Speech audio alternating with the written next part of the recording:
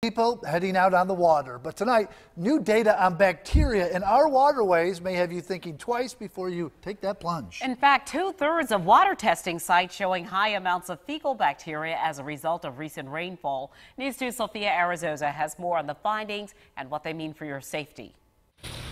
This water may look unassuming, but recent testing from Charleston waterkeepers shows it has above average bacteria levels. You need to know what the data and the science say in order to know whether or not it's safe for you and your family to get in the water. This week, 11 out of their 15 sites are deemed unsafe for recreational use. And that's because of uh, all the polluted floodwaters and polluted stormwaters. So when it rains and all that water collects on the streets and the ground, and then washes off, it takes all the pollution that's on the ground with it. It's not just the number of sites compromised that's alarming, but the amount of bacteria found. You might imagine you've got uh, you've got malfunctioning septic tanks, you've got uh, leaky and overflowing sewer infrastructure, you've got dog waste, pet waste, you know, all manner of herbicides, pesticides, uh, you know, fertilizers. Charleston Harbor near Patriots Point testing 50 times the state standard for bacteria when it comes to recreational use. Shem Creek, Hobcaw Creek, and the Ashley River not far behind. You know, when the, when the water's polluted after rain or during and after rainstorms, it, it really makes those activities can become a health risk. Threatening the health of wildlife, posing possible dangers for those who want to enjoy the water.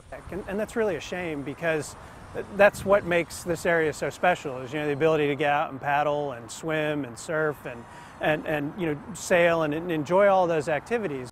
Health risks range from gastroenteritis, skin rashes, and ear, nose, and throat problems. If you do decide to swim near the flag sites, despite this data, you are urged to wash your hands, face, and body as soon as possible. Reporting in studio tonight, Sophia Arzosa, Count on 2.